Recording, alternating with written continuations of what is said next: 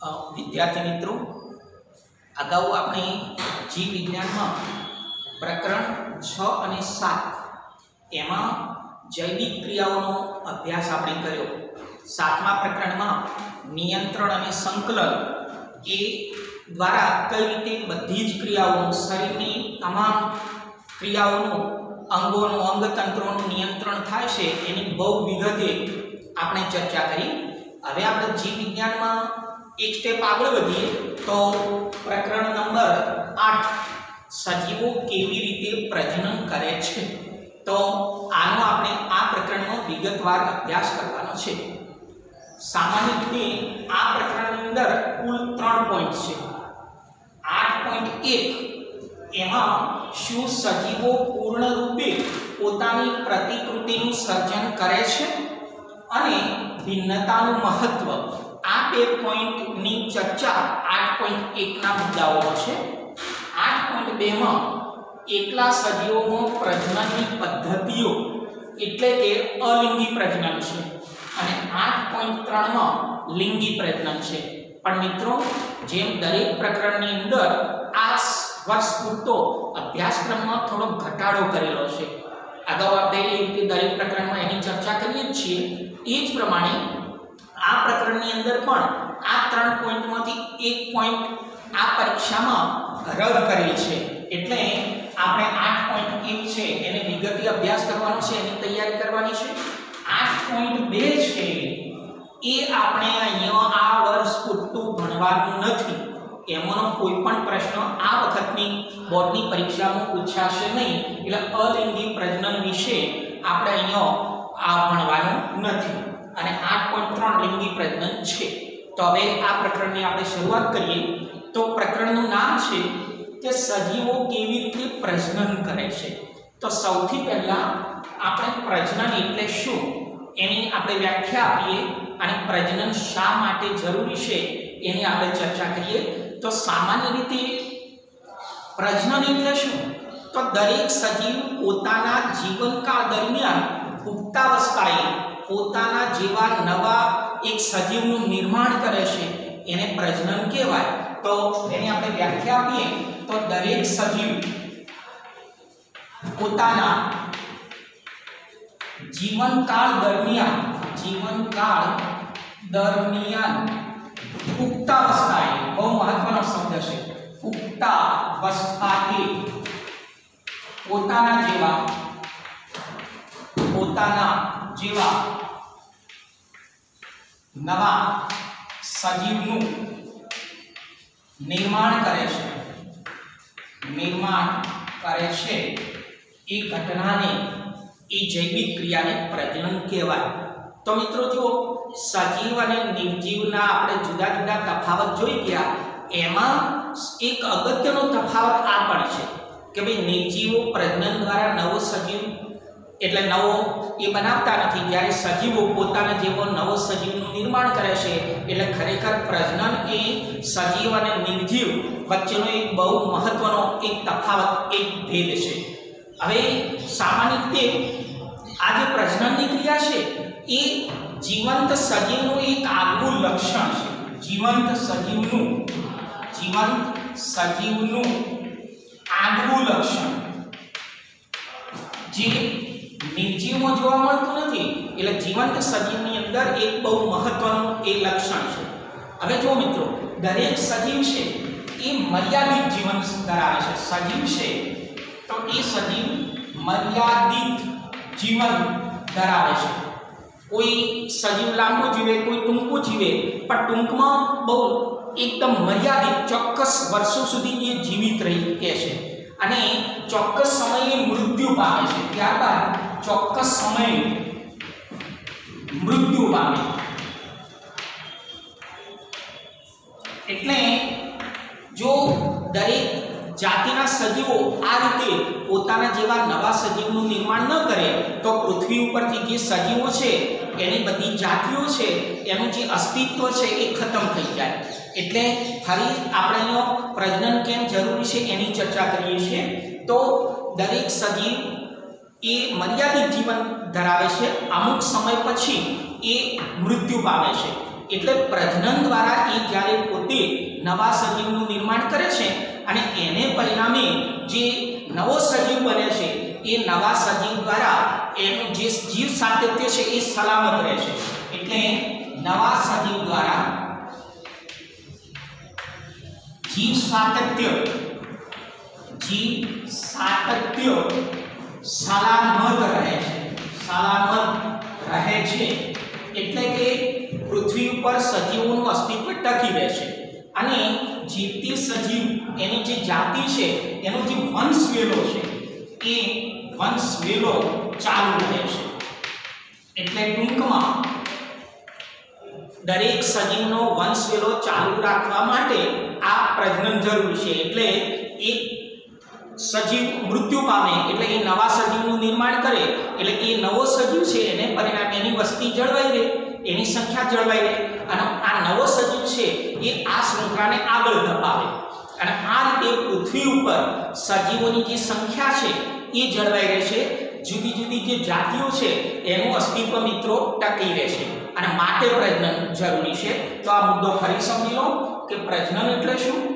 તો દરેક સજીવ પોતાના જીવનકાળ દરમિયાન પુખ્તાવસ્થાએ પોતાના જેવા નવા સજીવનું નિર્માણ કરે છે. એને આપણે પ્રજનન કહીશું. પ્રજનન શા માટે જરૂરી છે? એમાં ઘણા બધા મુદ્દાઓની આપણે ચર્ચા કરી શકીએ અને આપણે સમજી પણ શકીએ છીએ. પણ મહત્વનું કે ભાઈ, આ જે પ્રજનન છે, એ સજીવ અને નિર્જીવને અલગ પાડતો એક મહત્વનું લક્ષણ છે. અને જીવંત સજીવનું આગવી એક લાક્ષણિકતા છે. સજીવ મર્યાદિત જીવન ધરાવે છે. મર્યાદિત ઉંમર ધરાવે છે. અને ચોક્કસ સમય મૃત્યુ પામે છે. એટલે મૃત્યુ પામ્યા પહેલો એ જો નવા સજીવનું નિર્માણ ન કરે, નવો સજીવ ઉત્પન્ન ન કરે, તો એ જાતિ અથવા એ સજીવો છે એ પૃથ્વી ઉપરથી લુપ્ત બની જાય અને આખો જે સજીવો છે એ બિલકુલ પૃથ્વી ઉપરથી ધીમે ધીમે નષ્ટ પામે. એટલે સજીવો રહે જ નહીં અને માટે પ્રજનન જરૂરી છે. અને આ એના પરિણામે જુદી જુદી જે જાતિઓ છે એનો વંશવેલો પણ ટકી રહેશે. અને જીવ સાતત્ય સલામત રાખવા માટે અને સાથોસાથ વંશવેલો ચાલુ રાખવા માટે આ પ્રજનન જરૂરી છે. હવે જો મિત્રો, જૈવિક ક્રિયાઓ આપણે ભણી ગયા. તો જૈવિક ક્રિયાઓ એટલે દેહધાર્મિક ક્રિયાઓ. અને દરેક સજીવને પોતાનું જીવન ટકાવી રાખવા માટે કેટલીક મહત્વની જૈવિક ક્રિયાઓ હતી. દાખલા તરીકે પોષણ. શ્વસન. ઉત્સર્જન. ઉત્સર્જન. આ વગેરે જે જૈવિક ક્રિયાઓ છે, વગેરે જેવી જૈવિક ક્રિયાઓ. જીવન ટકાવી રાખવા માટે જરૂરી છે. જીવન ટકાવી રાખવા. જીવન ટકાવી રાખવા.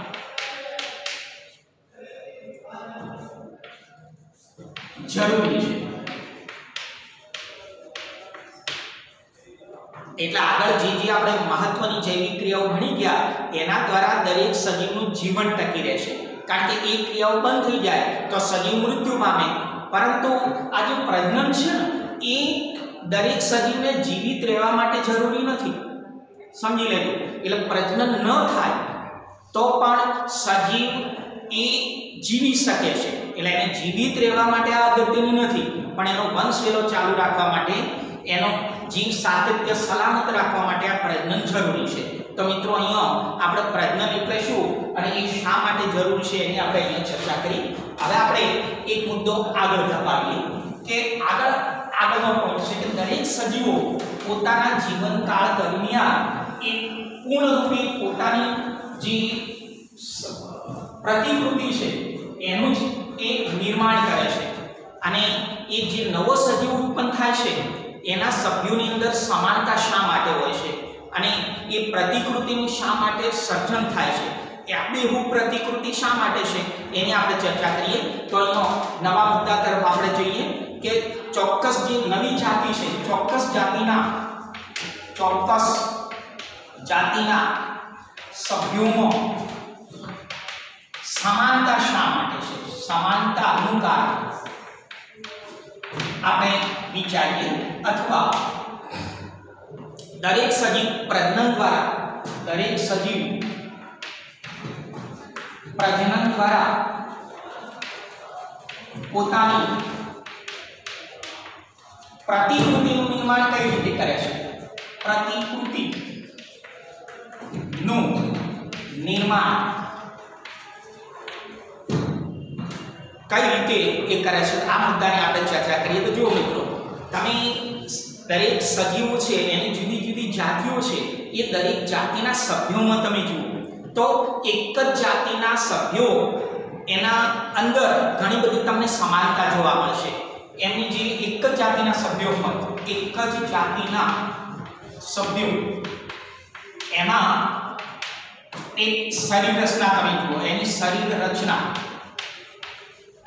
એનું કદ, એની શરીર રચના એનું કદ, એનો દેખાવ વગેરેની અંદર આપણને આ સમાનતા જોવા મળે છે. એક જ જાતિના જુદા જુદા સભ્યો શરીર રચનાની દ્રષ્ટિએ, કદની દ્રષ્ટિએ અને દેખાવની દ્રષ્ટિએ એક સરખા આપણને જોવા મળે છે. તો મિત્રો, અહીંયા બહુ મહત્વની વાત છે કે આ જે પ્રજનન છે ને, એ સ્તરે સજીવ સંરચનાની બ્લુપ્રિન્ટ તૈયાર કરવા માટેની એક ક્રિયા છે. એટલે પ્રજનન ખરેખર તો પ્રજનન આધારભૂત સ્તરે. આધારભૂત સ્તરે એટલે એકદમ પાયાના સ્તરે સજીવ સંરચનાની, સજીવ સંરચના ની પ્રતિકૃતિ. એટલે એની બ્લુપ્રિન્ટ. તૈયાર કરવા માટેની બ્લુ પ્રિન્ટ તૈયાર કરવા માટેની એક ક્રિયા છે આ મુદ્દો ફરી સમજો મિત્રો કે ભાઈ એક જ જાતિના જુદા જુદા સભ્યો છે એ કદની દ્રષ્ટિએ દેખાવની દ્રષ્ટિએ શરીર રચનાની દ્રષ્ટિએ સમાનતા ધરાવે છે એનો અર્થ એ થયો કે પ્રજનન દ્વારા એ આ નવી જાતિના જે સભ્યો બને છે, એમાં સમાનતા જોવા મળે છે. તો પ્રજનન એ હકીકતમાં આધારભૂત સ્તરે સજીવ સંરચનાની, સજીવનું જે બંધારણ એની જે રચના છે, એની બ્લુપ્રિન્ટ તૈયાર કરવા માટેની એક આ ક્રિયા છે. હવે જો મિત્રો, સામાન્ય રીતે આ તમે શરીર રચના વિશે આપણે ભણી ગયા કે દરેક સજીવનું બંધારણ કઈ રીતે હોય છે. તો સામાન્ય રીતે દરેક સજીવની અંદર કોષ હોય છે. કોષ. કોષની રચના આપણે ભણી ગયા. એમાં જુદી જુદી અંગેટાઓ છે. હવે આ કોષ છે તો કોષની અંદર કોષ કેન્દ્ર હોય છે. કોષ કેન્દ્ર. અને કોષ કેન્દ્રમાં ઘણી બધી જે અંગિકાઓ છે, એમાંની એક બહુ મહત્વની અંગિકા એટલે એમાં રંગસૂત્રો હોય છે. રંગસૂત્રો. અને આ રંગસૂત્રો છે, એની અંદર ડીએનએ હોય છે. ડીએનએ તો ડીએનએ નું આખું નામ આપણને આવડે છે. Deoxy deoxy ribose nucleic nucleic acid DNA એટલે આરએનએ ડીએનએ એમાં ડીએનએ ની આપણે વાત કરી છે તો ડીએનએ એટલે deoxy deoxy ribose nucleic acid ફરી સમજો. શરીર રચનાની અંદર કોષ કોષ એ સજીવનો રચનાત્મક અને ક્રિયાત્મક પાયાનો એકમ છે. કોષો ભેગા થઈ અને પેશીઓ બને, એમાંથી અંગો બને, અંગતંત્ર બને ને એમાંથી સજીવનો વ્યક્તિગત સજીવ બને, એ આપણે ભણી ગયા છીએ. તો અહીં કોષ, કોષની અંદર ઘણી બધી અંગિકાઓ પૈકીની એક અંગિકા એટલે કોષ કેન્દ્ર. કોષ કેન્દ્રની અંદર રંગસૂત્રો હોય છે અને રંગસૂત્રોની અંદર આ ડીએનએ હોય છે. તો હવે આ જે ડીએનએ છે એ શું કરે છે? તો એ વારસાગત લક્ષણોનું વહન કરે છે. વારસાગત લક્ષણોનું વહન કરે છે. અને આ ડીએનએ ની અંદર નવી સંતતિની અંદર જે એમાં ચોક્કસ પ્રકારના સંદેશાઓ હોય છે અને એનું એ વહન કરે છે. સંતતિની અંદર એ એક પેઢીમાંથી બીજી પેઢીની અંદર આ જે મહત્વના કેટલાક આનુવંશિક લક્ષણો છે, એનું એ વહન કરે છે. હવે જો મિત્રો, જ્યારે આ નવો કોષ બને, એ વખતે આ જે ડીએનએ છે, એની અંદર ચોક્કસ પ્રકારના જે સંદેશાઓ છે, અને એ સંદેશાઓનું વાંચન દ્વારા કોષની અંદર પ્રોટીનનું નિર્માણ થાય છે. કોષમાં પ્રોટીનનું નિર્માણ પ્રોટીનનું નિર્માણ થાય છે. અને જુદા જુદા પ્રકારના પ્રોટીન બને છે. અને આ જે પ્રોટીનો છે, એ જુદા જુદા લક્ષણો માટે, જુદા જુદા લક્ષણો માટે આ જે પ્રોટીન છે, એ જવાબદાર છે. એટલે દરેક સજીવમાં જે જુદા જુદા લક્ષણો છે અને એ લક્ષણોને વહન કરવા માટે એ આ પ્રોટીન જવાબદાર છે. એટલે દરેક સજીવની અંદર જે લક્ષણો છે એક પેઢીમાંથી બીજી પેઢીમાં એ મહત્વના જે લક્ષણો છે, એ એમાં જળવાઈ રહેશે અને આ પ્રોટીન છે, એ આ લક્ષણો માટે જવાબદાર છે. તો અહીંયા ફરીથી મુદ્દો સમજી લો મિત્રો. સજીવ શરીર રચનાનો મહત્વનો અંગ એટલે કોષ. કોષનો કોષ કેન્દ્ર, કોષ કેન્દ્રમાં રંગસૂત્રો હોય છે. આપણે આગળ જનરલ જ્યારે વાત કરીએ છીએ કે ભાઈ એક પેઢીમાંથી બીજી પેઢીમાં લક્ષણોનું વહન કોણ કરે છે? તો આપણે રંગસૂત્રો કહીએ છીએ. બરાબર છે? અને રંગસૂત્રોની અંદર ડીએનએ. ડીએનએ એટલે ડીઓક્સીરિબોઝ ન્યુક્લિક એસિડ. અને એ વારસાગત લક્ષણોનું વહન કરે છે અને એમાં જુદા જુદા સંદેશાઓ હોય છે. અને એ સંદેશાઓને અનુરૂપ કોષની અંદર પ્રોટીનનું નિર્માણ થાય છે. અને જુદા જુદા લક્ષણો માટે આ પ્રોટીન જવાબદાર છે. અને આ રીતે એક જ જાતિના સભ્યોની અંદર એ આપણને સમાનતા જોવા મળે છે. હવે મિત્રો જુઓ. દરેક સજીવના વૃદ્ધિ અને વિકાસ માટે કોષ વિભાજન જરૂરી છે. એટલે અહીંયા એક નવો મુદ્દો લઈએ. કોષીય પ્રજનન કોષીય પ્રજનન અથવા એને કોષ વિભાજન તરીકે ઓળખીશું કોષ વિભાજન. તો દરેક સજીવની વૃદ્ધિ અને વિકાસ માટે આ કોષ વિભાજન જરૂરી છે. કારણ કે એના એની ઊંચાઈ, એનું કદ એમાં વધારો કરવા માટે કોષોની સંખ્યામાં વધારો થવો જોઈએ. અને એ કોષોની સંખ્યા વધે એટલે એ જે સજીવ છે, એ વૃદ્ધિ અને વિકાસ પામે. તો સામાન્ય રીતે જે પિતૃકોષ છે, એ પિતૃકોષનું વિભાજન થઈ અને કોષ વિભાજન દરમિયાન બે બાળકોષોનું નિર્માણ થાય. પિતૃકોષ. ચાલો, પિતૃકોષ, એમાંથી બે બાળકોષ બને. બાળકોષ. હવે વિચારો મિત્રો, એક જ કોષ છે, એની અંદર જીવરસ કે અંગિકાઓ કે બધું જ છે, ડીએનએ છે, બધું જ છે. હવે એક પિતૃકોષમાંથી જ્યારે બે બાળકોષોનું નિર્માણ કરવાનું છે, ત્યારે સ્વાભાવિક છે કે એમાં જે કંઈ ઘટકો છે, એ બંને ઘટકો, બધી જ અંગિકાઓ, બંને બાળકોષમાં એક સમાન રીતે એની વહેંચણી થવી જોઈએ. એનો અર્થ એ થયો કે જે ડીએનએ છે ને, એ પણ બે સમાન પ્રતિકૃતિમાં વહેંચાઈ જશે. તો ડીએનએ પણ બે સમાન કૃતિમાં વહેંચાયું છે અને સાથોસાથ બીજા કેટલાક કોષીય અંગિકાઓ છે, બીજી કોષીય અંગિકાઓ, આ પણ બે ભાગમાં વહેંચાઈ છે અને આ ડીએનએ ની બે પ્રતિકૃતિ, બે બાળકોષમાં દાખલ થઈ જશે. અને સાથોસાથ અંગિકાઓ છે, એનું પણ વિભાજન થઈ અને બંને કોષોની અંદર એની અલગ અલગ સમાન વહેંચણી થઈ જશે. અલગ અલગ અલગ અલગ સમાન વહેંચણી. અને એને પરિણામે ધીમે ધીમે એક પિતૃકોષમાંથી બે બાળકોષો બનશે અને આ રીતે કોષોની સંખ્યામાં વધારો થશે. એટલે જે સજીવ છે, એ સજીવ એ વૃદ્ધિ અને વિકાસ પામશે હવે જો મિત્રો, પિતૃકોષમાંથી બે બાળકોષ બન્યા તો અહીંયા આપણને એક પ્રશ્ન થાય કે પિતૃકોષ અને બાળકોષની અંદર કેટલી સમાનતા હશે કેટલી ભિન્નતા હશે તો બહુ મહત્વનો એક મુદ્દો આપણે વિચારીએ કે આ બંને બાળકોષ દેખાવો સમાન છે, પણ સંપૂર્ણ સમરૂપ નથી. બંને બાળકોષ બંને બાળકોષ સમાન છે.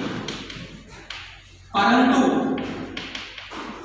એકદમ સમરૂપ નથી, સંપૂર્ણ સમરૂપ નથી. સંપૂર્ણ સમરૂપ નથી. એટલે પિતૃકોષ, પિતૃકોષમાં કોષ વિભાજન થયું. કોષ વિભાજનથી બે બાળકોષ બન્યા.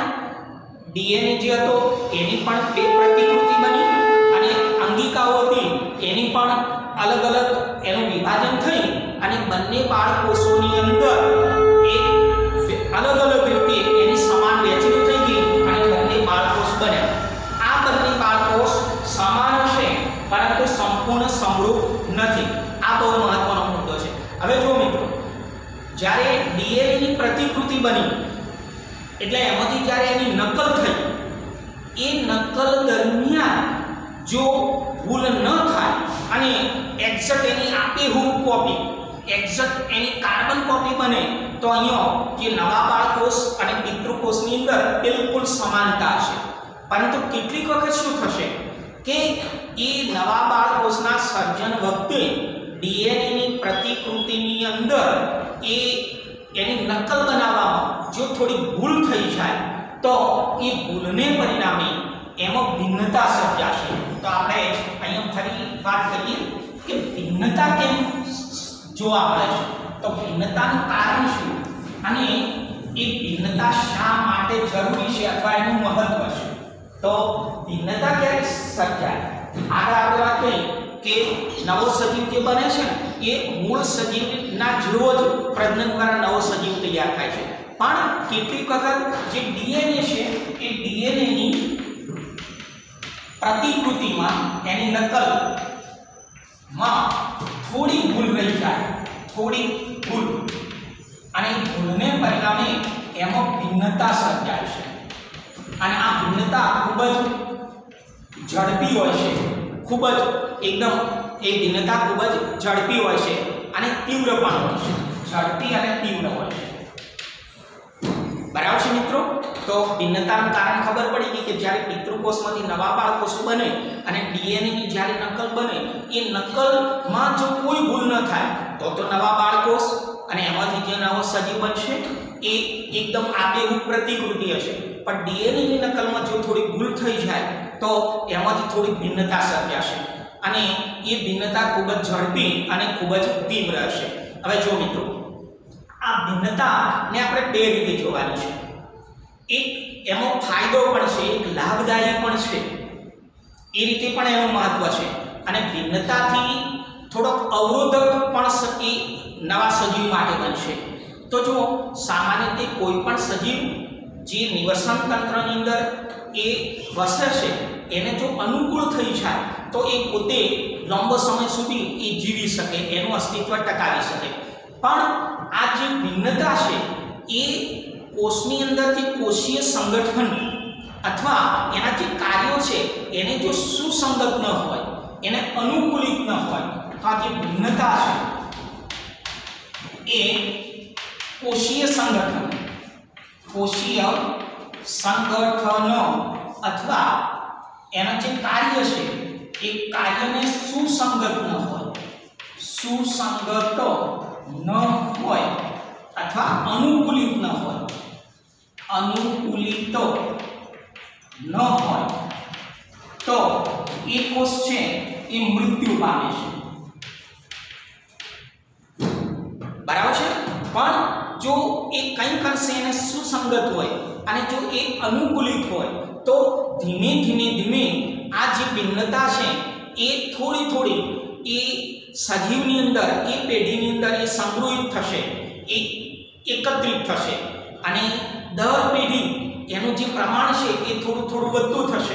અને લાંબા સમય એ ભિન્નતા છે, એ નવી જાતિનો વિકાસ કરશે. એટલે મિત્રો, જ્યારે એક સજીવમાંથી બીજો સજીવ બને છે પ્રજનન દ્વારા, જ્યારે નવા સજીવનું નિર્માણ થાય છે, ત્યારે અહીંયા સમાનતા અને ભિન્નતા, બે રીતે આપણે એની મુલવણી કરવાની છે. મોટે ભાગે સમાનતા જોવા મળે છે.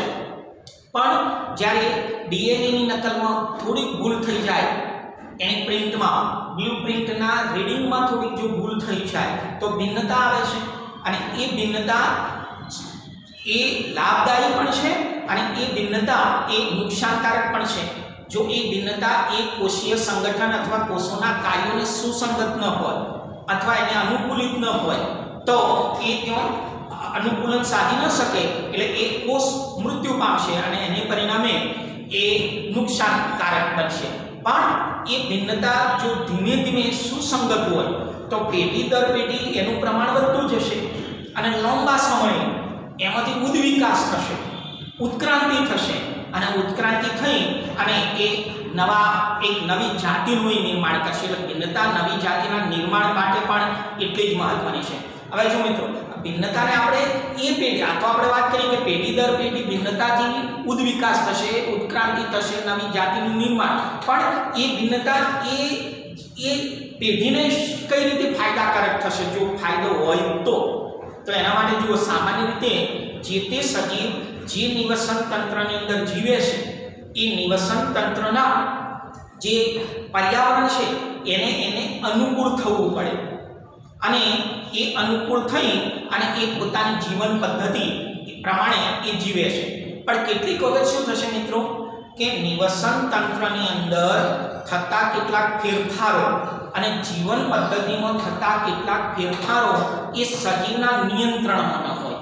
કેટલાક ફેરફાર નિવસન તંત્રમાં થતા જે ફેરફારો છે, એ કેટલાક ફેરફારો સજીવના નિયંત્રણમાં ન હોય. સજીવના નિયંત્રણમાં હોતા નથી. હોતા નથી.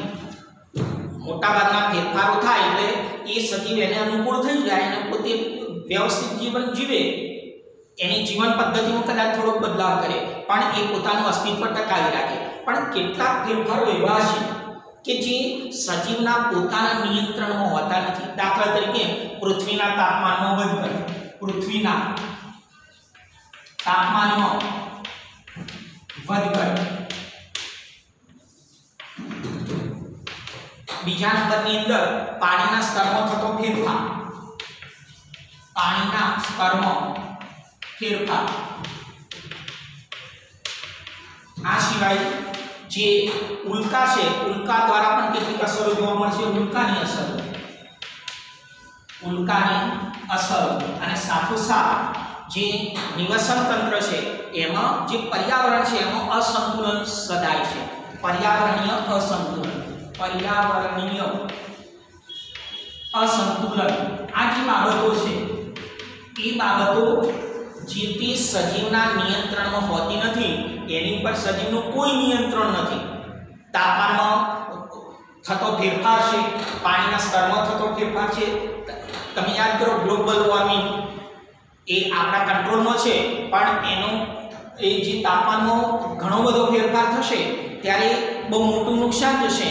એ એ આપણે ગ્રીન હાઉસ અસર, એની આગળ આપણે ચર્ચા કરીશું અને ભવિષ્યમાં પણ કરીશું. અત્યારે ઉલ્કાની અસર છે, પર્યાવરણીય અસંતુલન છે, વગેરે વખતે આ સજીવ જો પોતે એને અનુકૂળ ન થાય તો જીવી ન શકે. તો જુઓ મિત્રો એક જ જાતિના જુદા જુદા સજીવોનું નિર્માણ થયું, એમાં મોટા ભાગના સજીવોના મોટા ભાગના જે લક્ષણો છે, એમાં સમાનતા છે. પણ અપવાદરૂપ સંજોગોમાં કેટલાક સજીવો એવા હશે કે આમાં ભિન્નતા હશે?